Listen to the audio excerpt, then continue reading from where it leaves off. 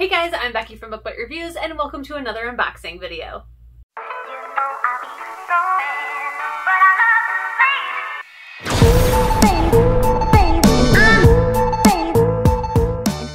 Today I have the May Bookish box. I am very excited about it.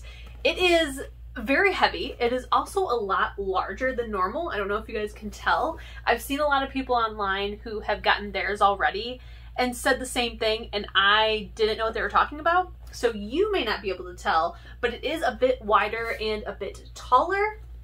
It's also a lot heavier than normal. So I'm very excited to get into this. Before we begin, as always, I like to give a disclaimer that I'm not a rep for this company. I'm just a loyal customer who loves sharing her unboxings. However, I do have a link down in the description box that gives you, I believe, 5% off, 10% off your Bookish Shop purchase. This cannot be used on the monthly subscription boxes, which I have recently found out, but you should be able to use it on any of the shop merchandise like t-shirts, stickers, etc. So be sure if you do end up buying something from the Bookish Shop, which you totally should because they're an amazing company, to use my link down below because it gives me a percentage off my next purchase as well. So now let's go ahead and get into it.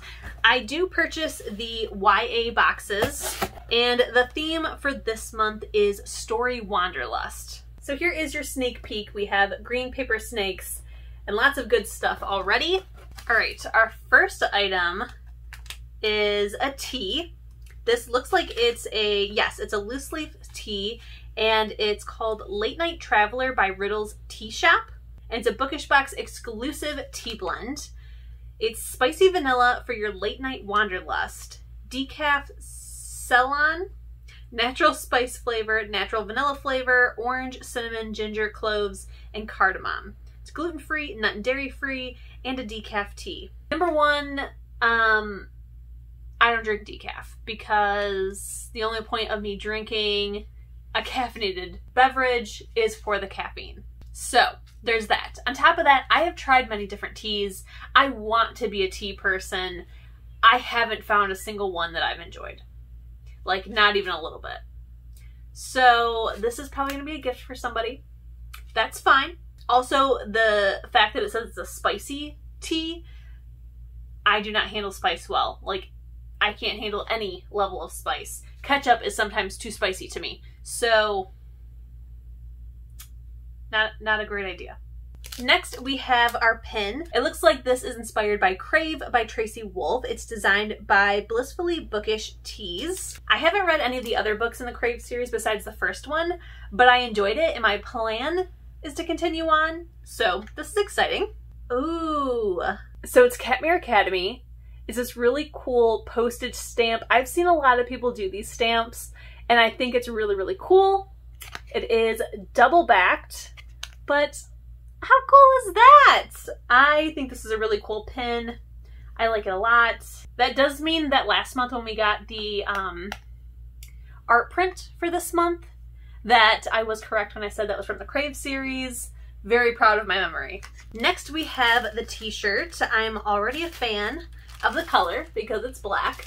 Oh, I like this a lot. It's been a while since we had this large of a print on the monthly t-shirts. But I am such a fan. It says Fictional Wanderlust. It's so cool. I love this a lot. I feel like the mountains in the back are a slight nod to the night court. I could be wrong, but that's what I'm going to say. But I love this. That is so pretty. Really cool t-shirt. So next we have the monthly candle. This one is Forks Washington. Twilight inspired. It says it's dark woods, moss, and fresh rain. If it's the smell that just emanated when I opened up the packaging on this, it's gonna be amazing. Mmm. Yep. This is this is so my jam. Oh my god, it smells so good. Okay, so the the candle itself, I don't know if you can really tell. It's a little messy around the rim, which is why I smelled it as soon as I opened it. Mmm. Wow.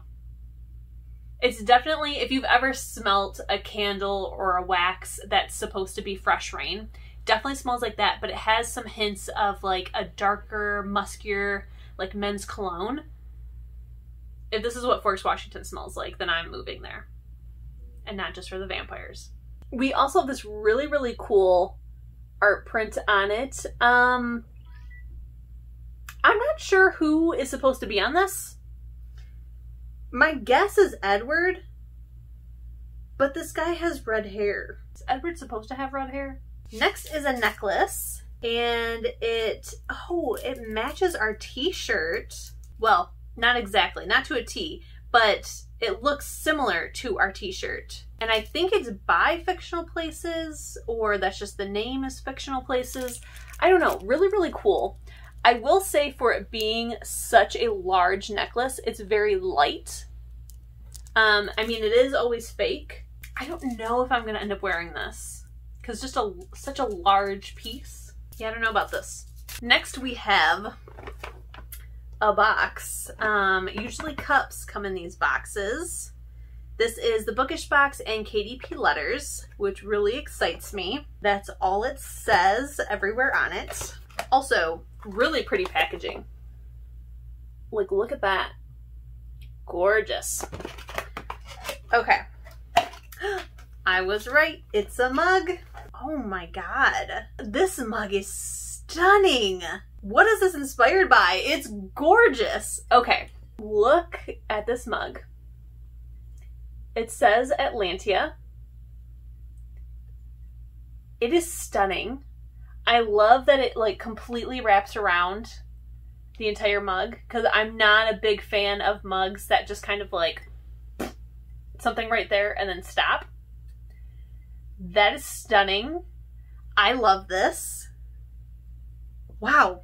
So next is the monthly bookmark that matches our monthly candle. I'm still unsure. I think it's supposed to be Edward though, but this is like whose Edward is this?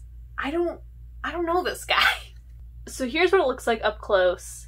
Stunning, stunning artwork as always. It's the same on the back. But who is this guy? We need to take a peek at the spoiler card in a minute. Oh, I love that. We got a sticker that says, I burn for you. oh, I love that. That has got to be from Bridgerton. That is stunning. I love that so much. It's my favorite thing from the show. So then the last thing that we have is the book, as well as the art print for the next month's theme. So the next one is, I believe it's Snake in the Grass, if I'm not mistaken. All that the back tells me is about this month's book. So I think it's Snake in the Grass. Love the art print, very pretty. Let me find the spoiler card first though before we move on to the book. So our print is by More Love Art. It's the June YA theme, like I said, and it's inspired by the shadows between us, which you might be able to see is right here behind me because I plan on reading it this month. So that's really cool. Our shirt is designed by Book Babe Designs. Love it. Our gorgeous mug is obviously by KDP Letters. And it just says if you were to snag a mug in, it says Atlanta, but I feel like it's supposed to say Atlantia, because that's what the mug says, at a coffee shop, this is what we imagine be grabbing. So it doesn't say if this is inspired by anything, but it's gorgeous. Oh, I didn't even notice on the bottom it has the little bookish shop logo. Um, and it, it does say the candle and the bookmark are designed by Nicole Deal, and it's Edward. Whose Edward is this? This does not look like Edward. This looks like some random redhead who's in Forks. Very strange. So strange. I will say though, um, the last bookmark we got, I think I put it somewhere else. Last month, it wasn't on this thicker cardstock with the velvet matte finish. It was very cheap feeling. So I'm very, very happy that this month it's back to normal because otherwise I'd be a little annoyed. Okay, so the last thing we have, my hair's caught on my earring. The last thing we have is the book. So let me get this open. Very pretty. It is Realmbreaker by Victoria Aveyard. Um, unpopular opinion, I don't want to read this book. I don't have the desire to. So I am going to be gifting this to a friend of mine on Instagram. Uh, she put out there if anyone is getting the bookish box edition of this and doesn't want it, she would love to buy it. She's about to start getting her master's degree for library science and she's got like this big move and all this stuff going on and so I decided to go ahead and give her my copy completely free as like a congrats on grad school and uh, I'm so excited to give this to her because she's gonna love this. Whereas I'm gonna put it on my shelf and be like, maybe one day I'll read it, and I'll probably never read it, and then it'll be donated to the library or something. So instead, I get to give it to her. So let's go through and talk about all the amazing stuff that is on this. So we have an exclusive cover. What's exclusive about it? I don't really know. In the last couple books, it's been very subtle where I can't tell what the difference is. I want to say maybe the red Realmbreaker is different, or maybe it's the fact that it's so um, metallic -y. I couldn't tell you. I don't know. I don't know what makes it exclusive. It never tells me. So there's that.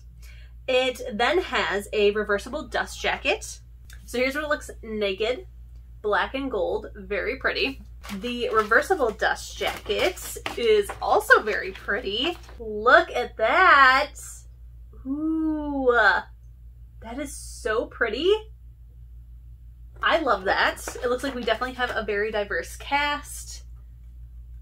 Ah, oh, so pretty. I do wish that these parts were metallic. That would be really cool. But yeah, that's really pretty. If I was keeping this copy, I would switch it over to this. Then we have exclusive end papers, and the tip-in page is actually on the end paper, which is really, really cool. So here it is. Look at that. Ah! So pretty. Very pretty. Very, very pretty. And they're different. So that's cool. Um, like I already showed, it is signed right here. And then we have an exclusive art print on the inside. Very cool. And I believe that's everything about this. Um, the only thing is that the artist, I think of everything, not sure, is Cassberrie. And I will have down below in the description box all of the credits to who designed everything as I always do. So yes, very, very cool. Um, I personally am a little sad that with these books, they're no longer giving us the little slip cover that goes with the book. I'll show you what I mean in one second. So normally they would give us the book in one of these and they haven't done that in a while and that stinks. I know like last month there was a book sleeve so it made sense not to give it, but I think that there was like another month or two that they didn't give us one.